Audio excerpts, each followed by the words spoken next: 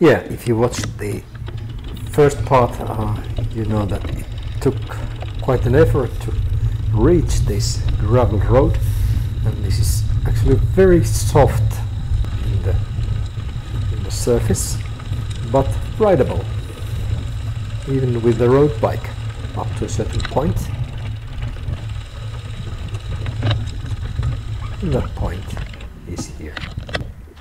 In front, something like very muddy, very deep, very soft. Perhaps for a fat bike, okay-ish, but otherwise no.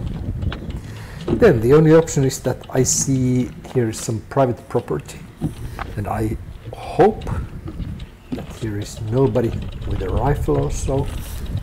This whole episode of gravel riding began some kilometers away, just next to the local shooting range. Yeah, this is some kind of an. I think this is an olive farm path crisscrossing. I think if I take left, I go more to the direction that I should be in.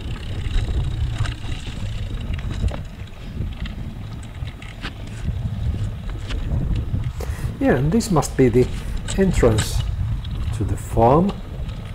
Yeah, I think that, yes, there is a road, at least the road in construction.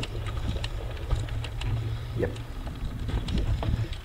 Final check with Strava and with Google Maps, and I am actually on the original route again. And this is something, this is this is like that gravel road that I was looking for. This is very nice. Very pretty. And there in front, the tarmac